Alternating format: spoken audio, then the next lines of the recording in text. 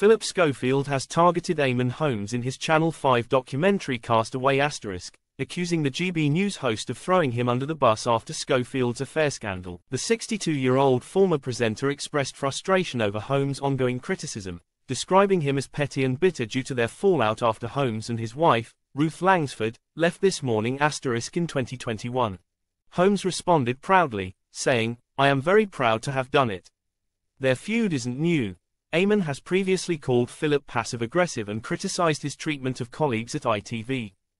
The rivalry continues to escalate as both sides exchange public jabs.